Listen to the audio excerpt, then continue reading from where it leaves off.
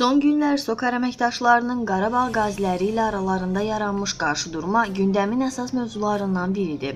Əslində uzun illərdir ki, SOKAR əməkdaşları vətəndaşlara qarşı bir çox özbaşına hərəkətləri ilə fərqlənirlər.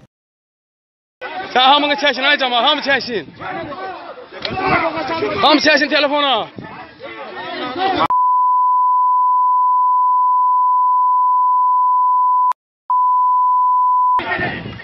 Kanal 13 olaraq onlarla belə faktı biz işıqlandırmışıq və indi də SOKAR-ın sadə cəmaata tutduğu divan haqqında izləyicilərimizə belə faktlardan bir neçəsini göstərmək, xatırlatma etmək istəyirik. Belə ki, kanalımıza göndərilən görüntülərdə şikayətçi bildirir ki, onlar evdə olduqları zaman 30-40 nəfər SOKAR əməkdaşı evlərinə daxil olaraq qanunsuz yerə onun evinin dam örtüyünü söküblər. Bir 50 dənə neft şirkəti gəlib qapını döyüblər, bacım qapını açıb, bacıma ə, itələyiblər, qalxıblar şeyə krişaya. Bir 20-30 dənə kişi. Bizi də mən də qışqır bağır elədim ki, niyə sökürsüz? Niyə bayram günü belə hərəkət eləyirsiniz? Məni, bacımın uşaqlarının hamısını saldılarsa, məni itələdilər, qolum, əlim hələ göyləri var. Sübutda var. Bizi saldılar içəri, bizim üstümüzdə, biz evin içində ola-ola evin krişasını söydülər. Bunlar başa düşmürlər ki, bunlar nətər insandılar ki, bu evin içində uşağın başına daş düşərdi, taxta düşərdi. Bəs onda biz nə edərdik? Bu görüntülərdə isə Füzuli rayonundan köçkün olan Səfərov Elçin Aydınoğlu SOKAR əməkdaşlarının heç bir xəbərdarlıq edilmədən evini sökmələrindən şikayətçidir. Qanunvericiliyə görə tikili yalnız məhkəmə qərarı əsasında sökülə bilər, amma şirkətin əməkdaşları buna məhəl qoymadan evi söküblər. Həmin görüntüləri təqdim edirik. Mənim xəbərim olmadan giriblər içəri, bax bu qapını açıblar. Neft qaz çıxartma idarəsinin əməkdaşları girib mənim xəbərim olmadan söküblər.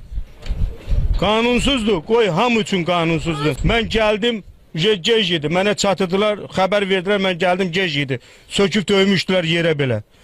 Mən də özüm ağ bayraq götdüm, gedirdim Prinzet aparatına. Bayraq meydanına kimi getmişəm. Bayraq meydanda məni polislər qoymadı. SOKAR işçilərinin özbaşınalıqları bununla bitmir. Sabunçu rayonunda yaşayan ailə 2005-ci ildən yaşadıkları evlərində dam örtüklərini dəyişə bilmirlər. Şirkətin əməkdaşları örtüyü dəyişəcəkləri halda evlərini sökəcəklərini bildiriblər.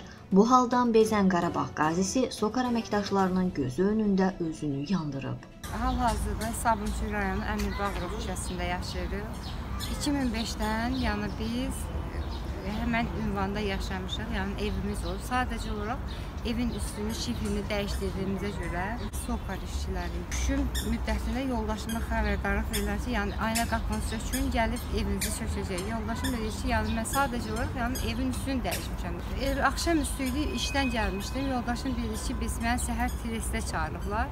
Yoldaşım da gecə semendən çıxdı. E, Simendən çıxdı, getdi Trestə. Trestin müdürü, böyük müdürü dedi ki, yəni mümkün deyil də, yəni ev gəlib söküləcək.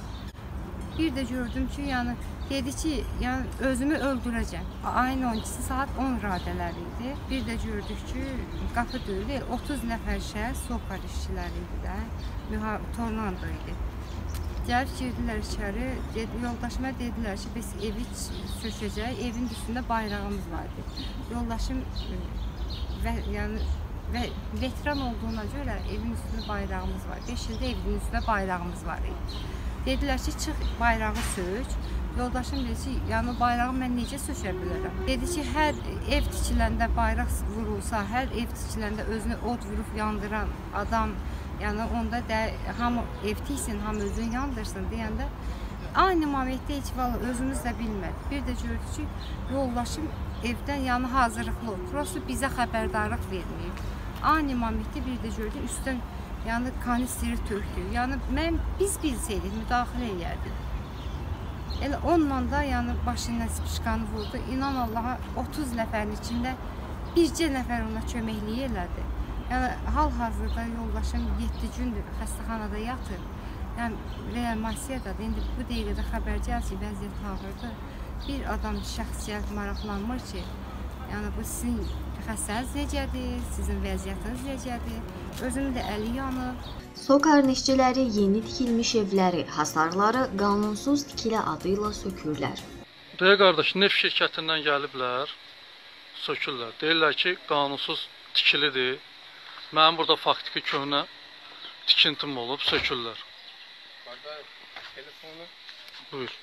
Telefonda qanunla iş görmürsən, Telefon- qanunla işi bir gör də qardaş. Qanunsuz iş görmürsən ki.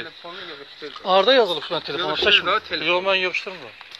Sen kanunu işliyorsun. Bəli, bəli. Qanunsuz olmuş gəlib sökərsən.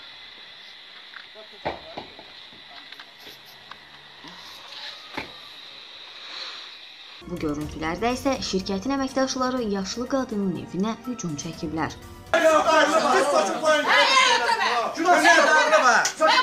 İçine arka ah, bir yer kelip çıpır. Çek başakilere bu kameraya. Gel gel gel. Çek kameramları. Beni kişi getirin üstüme. 50 tane kişi getir. Kişi dibeye olsa. Özlere bir yer kişi ver. Kurmalı. Diyen diyen diyen diyen diyen. Mama hamısı 2000 manatın söhbətidir diyen diyen. Hamısının tası var tası. 3 6, 7, 8, 9, toplu adam qalmayıb 10 nəfər adam gəlir üstümə. Çəkmişəm. kişi başınıza. Çəkmişəm. Alçaqlar erməninin üstünə belə gödünü. Yox, Qarabağa çatanda hamısı levo verirlər, levo. Amma qadın üstünə gəlməyə hamısı bacarır. Mən yerə sokun. Kişidirlər bunlar. Əgər sizə kişi demək olarsa, yaşlı adamın üstünə 10 dənə kişi gətiriblər.